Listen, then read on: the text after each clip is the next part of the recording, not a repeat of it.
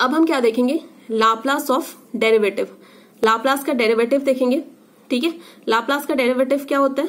Theorem ये कैसे हम देखते हैं? मान लो कि कोई फ़ंक्शन किसी भी एफ़ ऑफ़ टी का लाप्लास क्या दे रखा है?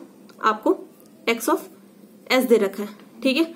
तो अगर हम इस एफ़ ऑफ़ टी को डिफ्रेंशिएट कर देते तो इसका लाप्लास क्या होगा? तो एफ़ ऑफ़ टी को मैंने एक बार डिफ्रेंशिएट किया तो उसका लाप्लास क्या हो जाता है? Minus of F of zero plus S into Laplace of F of T ठीक है? अगर दो बार डिफ्रेंशिएट किया तो क्या हो जाता है? माइनस माइनस डेरिवेटिव ऑफ़ मतलब माइनस क्या होगा? इस फ़ंक्शन को एक बार आप डिफ्रेंशिएट करोगे, उसके बाद ज़ीरो पुट कर दोगे। Minus S F of zero into S square Laplace of F of T ठीक है? समझ में आ गया? अब देखो, पहला इसे हम प्रूफ करते हैं। ठीक है? तो इसे कैसे प्रूफ करोगे आप? यहाँ पे क्या है? अगर हम किसी फ़ंक्शन को डिफ्रेंशिएट कर देते हैं तो क्या हो जाएगा? फॉर्मूले में बस आपको क्या करना है? एफ़ ऑफ़ टी की जगह क्या पुट कर देना है? एफ़ डैश टी पुट कर देना है। तो यहाँ पे क्या हो जाएगा? F dash T D T ठीक है? इससे हमने क्या लेट कर लिया? ये यू है, ये फ़ंक्शन क्या है आपका? वी है। ठीक है? तो बाई पार्ट्स आप इसे क्या कर दोगे? ब्रेक कर दोगे। Right right? तो बाई पार्ट्स करने के लिए आप क्या करोगे? बताओ। बाई पार्ट्स करने के मैंने क्या किया? अब हम लोग क्या देखेंगे? लाप्लास ट्रांसफॉर्म ऑफ़ डेरिवेटिव ठीक है? मान लो कि कोई भी आपका फ़ंक्शन है, उसका आप लाप्लास ट्रांसफॉर्म निकालते हो, वो क्या आता है? एक्स ऑफ़ एस आता है। अगर आप उसे डिफ्रेंशिएट कर देते हो तो उसका लाप्लास ट्रांसफॉर्म क्या आ जाएगा? अगर एफ़ ऑफ़ टी को आप डिफ्रेंशिएट कर दोगे तो उसका लाप्लास ट्रांसफॉर्म क्या आ जाएगा? Minus minus F of zero plus Laplace of S into Laplace of F of T अगर उसे डबल डबल डिफ्रेंशिएट कर देते हो तो क्या हो जाएगा? Minus derivative of F at T equals to zero ठीक है? Minus S of S into F of zero plus S square Laplace of F of T ठीक है? इसे हम डिफ्रेंशिएट करके देखेंगे मतलब प्रूफ देखेंगे कैसे ये आता है। तो मुझे लाप्लास किसका लेना है? F of differentiation of F of T का। मतलब इसे हम अगर डिफ्रेंशिएट करते हैं तो इसका लाप्लास ट्रांसफॉर्म क्या आ जाएगा? तो हम क्या लेंगे? Limit zero to infinity E to power minus S T into function यहाँ पे क्या है?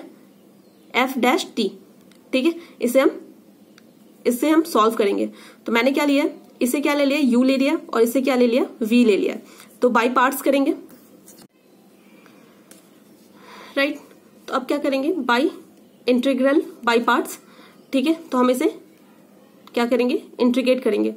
तो यू को एज इट इज़ हम लिख देंगे और ये जो फ़ंक्शन है, उसे क्या कर देंगे हम? इंटीग्रेट कर देंगे। ठीक है? तो यहाँ पे क्या कर दिया हमने? ये क्या आपका? एफ़ डैश है। तो ये वाले फ़ंक्शन को जो वी फ़ंक्शन है, उसे इंटीग्रेट कर देंगे। That is zero to infinity minus यहाँ पे ज़ीरो टू इन्फिनिटी एक पहले से है। राइट उसके बाद क्या लेंगे? इंटीग्रेशन ज़ीरो टू इन्फिनिटी, इसे हम यू को क्या करेंगे? डिफ्रेंशिएट कर देंगे तो क्या आ जाएगा? E to power minus S T E to power minus S T into इसे क्या करना है? माइनस एस उसके बाद क्या करेंगे? इस फ़ंक्शन को क्या कर देंगे हम? इंटीग्रेट कर देंगे तो क्या आ जाएगा? Zero to infinity F of dash T D T और पहले से डी टी था। ठीक है? अब क्या हो गया? जब हम किसी भी फ़ंक्शन को, मान लो ये क्या एफ़ डैश क्या है? एफ़ डैश टी क्या है आपका? ऐसे लिख सकते हो? D upon D T F of T जब इसे इंटीग्रेट करते हो किसी भी डिफ आ, किसी भी जो भी मान लो कि डेरिवेटिव है उसे जब इंटीग्रेट करते हो तो इंटीग्रेशन और जो डेरिवेटिव होते हैं एक दूसरे को कैंसिल आउट कर देते हैं। तो क्या सिर्फ़ बचेगा? एफ़ ऑफ़ टी बचेगा। तो यहाँ पे सिर्फ़ क्या हो गया? एफ़ ऑफ़ टी राइट ये क्या हो जाएगा? आपका एस को मैं बाहर ले लूँगी तो क्या आ जाएगा? प्लस माइनस एस को बाहर ले लिया। Plus S zero to infinity E minus T minus E to power minus S T इसे जब फिर से इंटीग्रेट करो क्या आ जाएगा F of T D T zero to infinity right पूरे को मैंने, पूरे का मतलब जो लिमिट है, वो बाहर ले लिया, ठीक है? फिर यहाँ पे आप लिमिट अलग अलग पुट कर दोगे। तो जब इन्फिनिटी पुट करोगे तो क्या हो जाएगा E to power minus infinity zero होता है तो पूरा फ़ंक्शन ज़ीरो हो जाएगा। जब ज़ीरो पुट करोगे तो यहाँ से आपने क्या लिख दिया? Minus E to E to power zero F of zero plus S into यहाँ पे ये किसका लाप्लास ट्रांसफॉर्म हो जाएगा? आपका एफ़ ऑफ़ टी का। ये, यही तो Laplace transform F of T का क्या होता है? यही होता है। तो यहाँ पे आप क्या लिख दिए? Laplace transform of F of T तो यहाँ से क्या आ गया? Minus F of zero plus S L F of T ठीक है? तो ये आपका हो गया। तो ये किसका फॉर्मूला आ गया आपका? Laplace of F of F dash T का लाप्लास ट्रांसफॉर्म आ गया। ठीक है? समझ गए? अगर हम उस फ़ंक्शन को डबल डिफ्रेंशिएट कर देते हैं तो क्या होगा उसका Laplace transform zero to infinity इसे हमने क्या ले लिया? यू ले लिया। एफ़ डबल डैश को क्या ले लिया? वी ले लिया। ठीक है? तो मैंने क्या किया? यू को एज इट इज़ लिख दिया। इसका इंटीग्रेशन ले लिया। Zero to infinity F F double dash T D T ठीक है? फिर मैंने क्या लिया? माइनस ज़ीरो टू इन्फिनिटी इसे भी बाई पार्ट से करेंगे। ज़ीरो टू इन्फिनिटी इसे क्या करेंगे? यू को डिफ्रेंशिएट कर देंगे और इसे वी को इंटीग्रेट कर देंगे। ठीक है? और लिमिट मैंने बाहर ले लिया ज़ीरो टू इन्फिनिटी ये वाली जो लिमिट थी, यहाँ पे ले ली मैंने। राइट एक इंटीग्रेशन क्या करेगा? ये डबल डेरिवेटिव है तो एक डेरिवेटिव को कैंसिल आउट कर देगा। तो क्या हो जाएगा? आपका एफ़ डैश टी हो गया zero to infinity plus S को मैंने माइनस एस को क्या ले लिया? बाहर ले लिया। ज़ीरो टू इन्फिनिटी ये आपका आ गया। ठीक है? उसके बाद क्या हो जाएगा? जब लिमिट आप पुट कर दोगे तो ये आपको मिल जाएगा प्लस ये किसका डेरिवेटिव हो जाएगा? S into L F dash T का डेरिवेटिव हो जाएगा। ठीक है?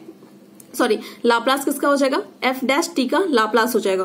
तो यहाँ से आप ये मतलब ये क्या हो जाएगा आपका टर्म ये वाली जो टर्म होगी, वो क्या हो जाएगी? ज़ीरो हो जाएगी। यहाँ से क्या आ गया? F dash zero plus S F dash T का मैंने पहले जो फॉर्मूला बताया था, वो क्या हो जाएगा? Minus F of zero plus S Laplace of F of T तो इसे सॉल्व कर दोगे तो आपका क्या आ गया? ये फॉर्मूला आ गया। तो ये किसका आ जाएगा आपको? Laplace of F double dash ठीक है?